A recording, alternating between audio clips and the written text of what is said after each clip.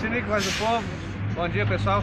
A gente está aqui nas margens da BR-040 acompanhando uma ordem de despejo né, do juiz em relação a uma família que está morando em condição de rua, né, em situação de rua, né, às margens da BR-040 e a senhora mora sozinha e hoje chegou aí uma ação judicial para que ela seja removida da área. A gente já fez a solicitação à prefeitura, né, à, secreta, à ação social, para poder estar acompanhando ela e direcionando ela para uma área segura.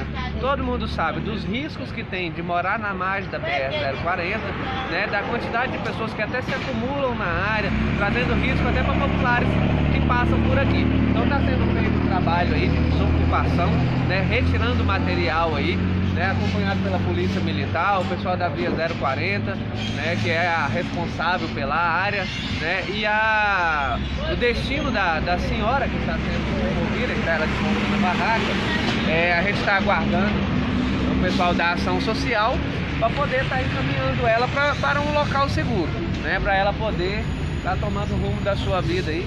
Ela que está aqui morando em barracada, a gente espera que tenha um lugar seguro. Como é que é seu nome? Meu nome é Maria Elizabeth. Maria Elizabeth, chegou hoje a ordem judicial, você está desocupando a área, né? Mas você tem que entender que ah, essa ordem judicial ela também prima pela sua segurança. Você como mulher, você está morando aqui sozinha?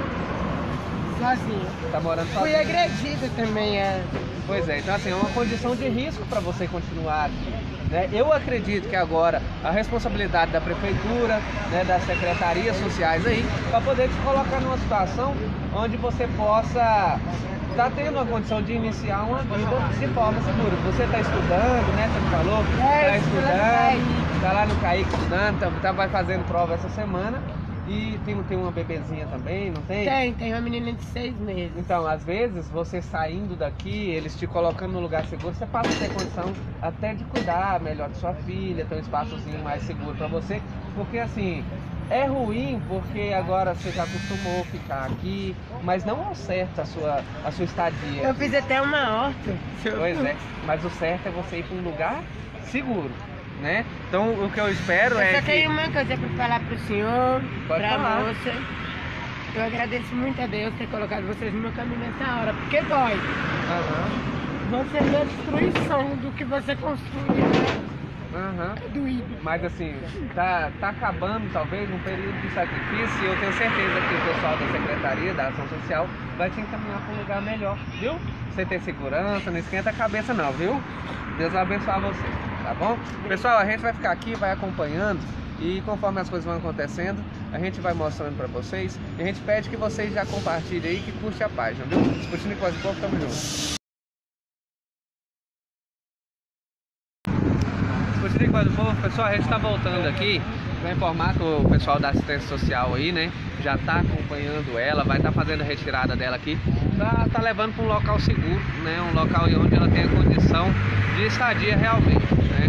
Como a gente já trouxe na primeira transmissão, é, os oficiais de justiça veio junto com a polícia militar, trouxe né, uma liminar de despejo para desocupar a área, né, fazer a reintegração da área, né, que é de responsabilidade da Via 040, né, que é a concessionária que toma conta aí, e veio com essa, com essa ordem para poder estar tá tirando a Elizabeth aqui da área, né, e a gente solicitamos a presença da ação social para poder estar encaminhando a Elizabeth para um local de condição. Ela que já foi agredida aqui nessa, nessa área, que é moradora daqui já tem já há um tempo, todo mundo conhece a história deles aqui, né? a população fica incomodada também e a gente quer que essa situação aí seja resolvida e que, sabe, tenha uma forma de a gente estar tá acompanhando esses casos mais de perto para estar tá evitando esse tipo de situação, né?